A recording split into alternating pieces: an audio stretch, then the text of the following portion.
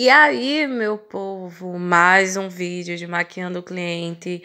Hoje eu vou trazer uma proposta bem glam, bem brilho mesmo, mais elaborada, mais usável, né?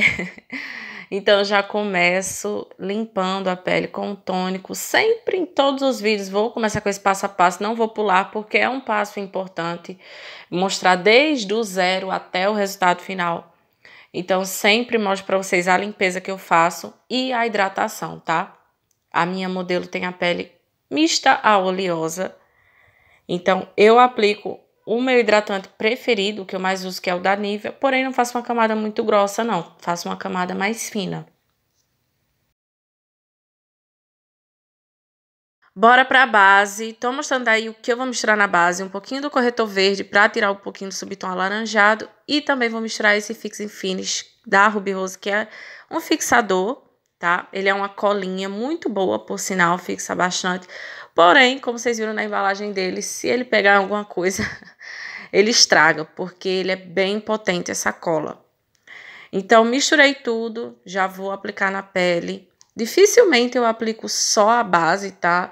Sempre eu acabo misturando é, com esse fixador e às vezes com algum corretor colorido para igualar com o subtom da cliente, tá? Então, eu sempre estou misturando com alguma coisa. Vou aplicando com o pincel Kabuki, que é o meu pincel preferido para aplicação de base. Com batidinhas, quando a gente aplica com batidinhas, eu consigo mais cobertura do produto, tá? E depois venho com a esponjinha só para sentar melhor, tirar qualquer risquinho do pincel. Vocês podem ver que eu nem bato muito a esponjinha, bem de leve mesmo, para sentar o produto na pele mesmo, tá? Para fazer a iluminação, vou usar esse corretivo aí da Suelen. Eu gosto bastante, tá? Já começa a aplicação e eu vou aplicar e já vi com a esponjinha esfumando, tá?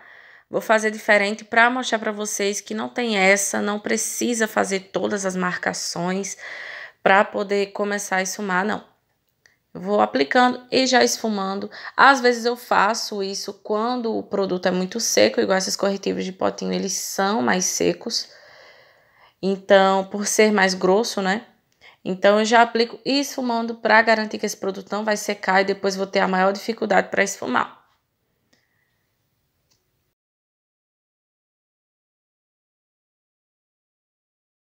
E outra coisa, tá, gente? Eu não diluo esses corretivos, tá?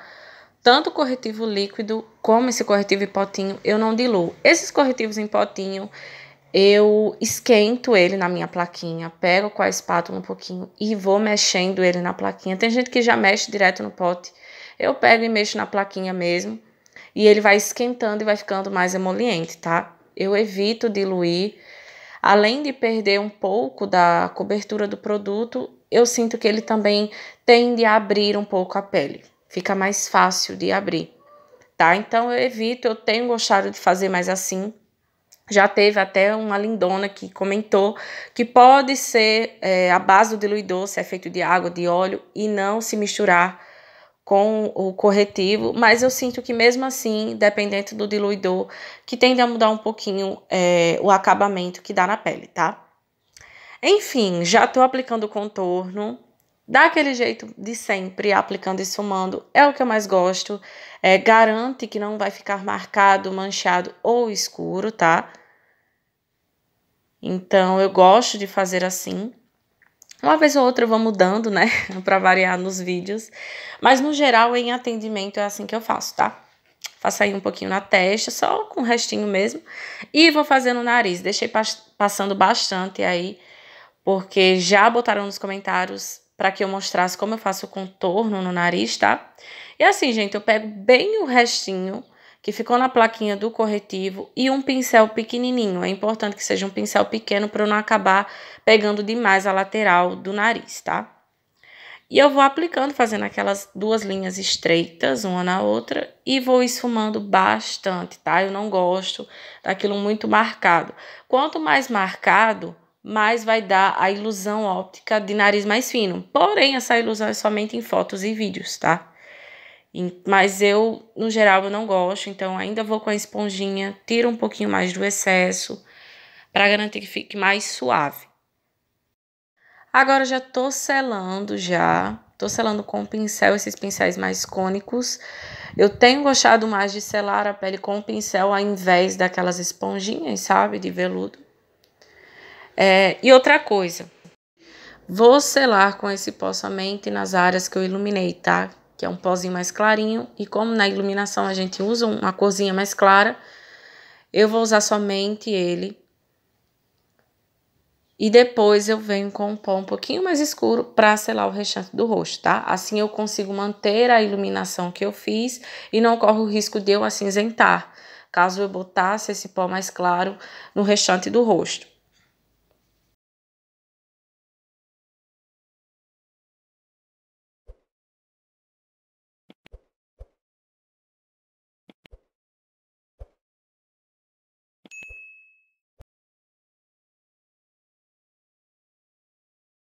Tô aplicando iluminador, é uma pena que não mostrou aí no vídeo, mas é um iluminador mais douradinho.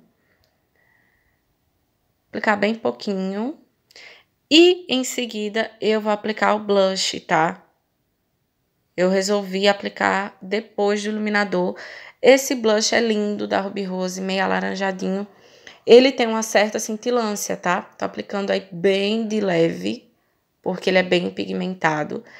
E vou aplicar depois do iluminador para ficar um brilho só, tá? Não ficar separado. Gosto de fazer assim quando eu não quero realçar muito o iluminador. Quero só deixar aquele viço mais natural. E de pele foi isso, bora para os olhos. Já tô aplicando corretivo aí na pálpebra dela, aplico em toda a pálpebra, distribuindo com o pincel. Depois eu venho com a esponjinha só para esfumar é, as extremidades, tá? Para não ficar aquela divisão com a pele que já tá feita. E aí eu vou aplicar um tonzinho de marrom neutro, bem clarinho, mal dá pra ver aí, né? Só pra gente começar o fundo desse somado. Eu tô fazendo isso em quase todas as minhas maquiagens, gente, de fazer um fundo, porque além de eu selar essa pálpebra, né, para não acabar manchando com outras, eu acabo já criando um fundo melhor para o degradê, tá? Para facilitar no degradê do esfumado. Após isso, eu venho com o marrom bem alaranjadinho e começo a marcar meu côncavo, tá? Eu não vou muito até o canto interno, é mais na metade, mas eu marco bem esse côncavo, por isso que eu tô com movimentos aí bem curtinhos, que eu não quero aquele esfumadão, eu quero aquilo mais marcado, sabe?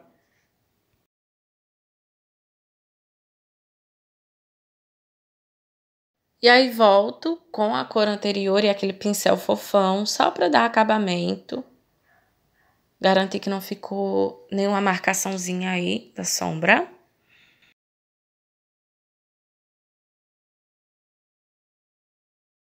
Após isso, eu venho com essa cor vinho dessa paleta, tá? Só pra gente deixar um pouquinho mais coloridinho essa maquiagem, mas também poderia ser um marrom mais avermelhado, um marrom mais puxado para o vinho, tá? Aí eu usei o vinho propriamente dito, mas poderia ser um marrom também mais avermelhado, também ficava show. E vou aplicando somente no canto externo até o côncavo, tá? Não vou subir demais e nem vou marcar muito esse côncavo, senão eu vou acabar cobrindo a cor anterior. Então, é mais no canto externo mesmo, tá? E aí eu vou usar esse marrom que é um pouquinho mais frio, só pra gente quebrar um pouco desse vinho. Não, eu não quero uma maquiagem super coloridona, não. Mas também eu quero que ela tenha uma corzinha, tá? Então, vou aplicar um, esse marrom mais frio só pra quebrar um pouco a temperatura e não deixar tão colorido. Também somente no canto externo e sem subir demais para não acabar cobrindo as cores anteriores, tá? E volto com aquele vinho, depois eu volto com a cor anterior também para dar o acabamento. E volto com as cores anteriores também nessa parte mais horizontal da pálpebra, tá, gente? Lembrar sempre disso, o esfumado não é sempre só na parte vertical, no côncavo, também nessa área horizontal, no meio da pálpebra, no canto interno. Volto com o vinho e volto também com aquele marrom mais alaranjadinho para ficar um degradê bem bonito, para quando eu vir com brilho, é, fica tudo bem esfumado, uma transição bem bonita.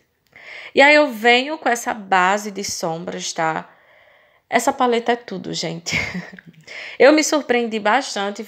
Essa foi a primeira vez que eu usei essa base dourada. E assim, gente, ela tem um brilho lindo demais. Eu pensava que era só a cor amarelada, mas quando eu apliquei é, na pálpebra, ela ficou com um brilho muito lindo. Não sei se vocês vão conseguir ver aí. Mas eu tô aplicando bem aos poucos, porque como é uma base mais cremosa, eu não queria que fosse muito para cima daquele esfumado que a gente fez, se concentrasse mais aí no canto interno. E esfumei bastante, para quando eu viesse com a sombra, não acabar é, selando uma parte que tá marcada. Então, eu esfumei bastante. Vocês podem ver aí, parece que eu apliquei uma sombra douradinha, né? Mas é a base cremosa. E agora sim, eu já venho com a sombra dourada, cintilante normal, para selar tudo. E olha o brilho que fica, intensifica mais, né? Quando a gente usa essas bases cremosas, elas intensificam mais as sombras depois. Ficou lindo. Eu vou aplicando com batidinhas, tanto para selar a base cremosa, quanto para ficar melhor o degradê aí no meio da pálpebra, tá? Não ficar uma linha dividindo.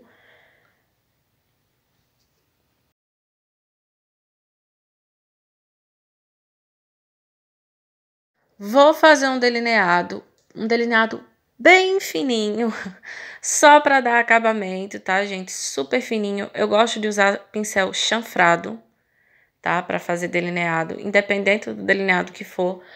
Às vezes eu até uso outros, mas de preferência eu uso chanfrado, que seja bem fininho, tá?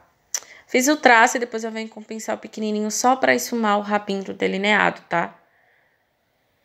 Para dar acabamento mesmo. Eu estico bem a pálpebra dela para eu conseguir fazer um traço num deslize só, tá? Não ficar tremido nem nada. Eu acho, na minha opinião, que o delineado fininho é ainda mais difícil do que você fazer o grosso, né? Porque se você errar o fininho, você vai ter que engrossar para consertar, então o fininho é mais difícil. E aí vocês vão ver que a bonita abriu o olho e carimbou na pálpebra. Mas, ó, mostrando pra vocês como eu resolvi. Deixei secar bem aquele delineador. Depois eu vim com o cotonete seco, tá? Passei ali, tirei. E depois eu vim só com a sombrinha dourada. Apliquei por cima ali e pronto. BO resolvido. Bora pro esfumado inferior. Vou usar aquela mesma paletinha, tá? Que eu usei a base cremosa. Vou usar agora é, com a base marrom para a gente fazer o esfumado inferior. Eu tenho usado muito essas bases cremosas para fazer o esfumado inferior, porque além de dar mais durabilidade e mais pigmentação na sombra embaixo, eu também consigo melhor acabamento, porque ficar muito ali com a sombra esfregando, às vezes a modelo ou a cliente fica com agonia, fica querendo chorar, acaba lacrimejando, e com a base cremosa, o pincel desliza melhor. Então, eu tenho usado bastante Aí eu já tô com a sombra selando. Mesma sombrinha marrom, alaranjadinha que a, que a gente usou em cima, tá?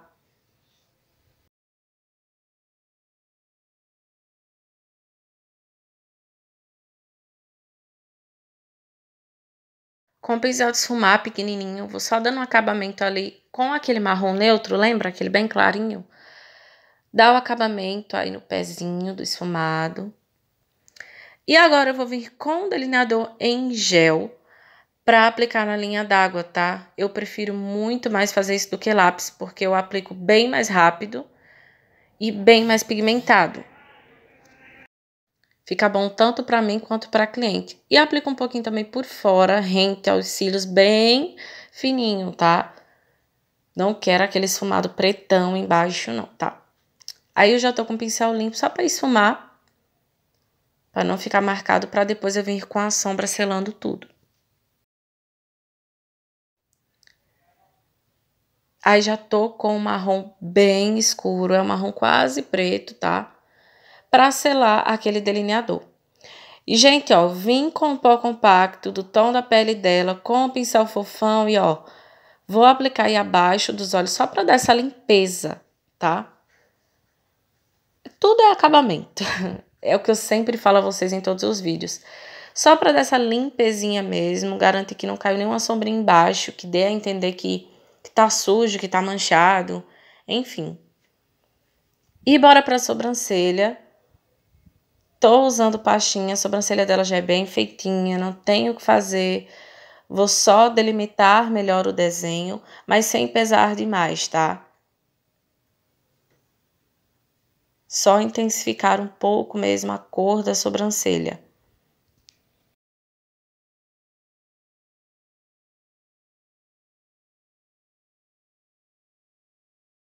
Cílios postiços. Vou usar um cílio bem de cliente, eu tenho usado bastante nas modelos, é o que eu tenho preferido mais, para não pesar tanto no olhar, né? Já que as minhas maquiagens não são aquelas maquiagens muito mais puxadas pro artístico.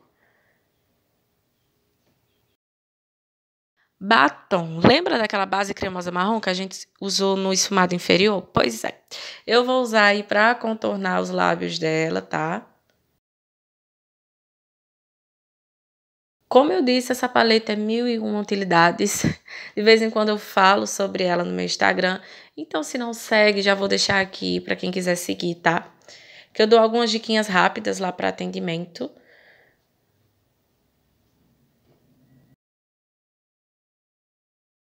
E vou usar esse gloss da Alice Gontijo, tá? Esse é o Safada Chef.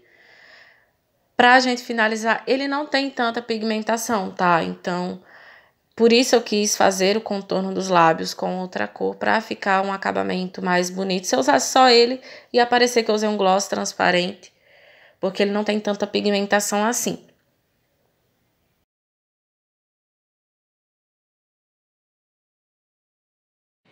E é isso, meu povo. Espero muito que tenham gostado do vídeo de hoje. Já comenta aqui para mim o que é que vocês acharam. Se tem alguma sugestão pro próximo vídeo, quem sabe alguma ideia sua não acabe sendo o tema do próximo vídeo do canal. e se inscreva se não é ainda inscrito, tá certo? Um beijo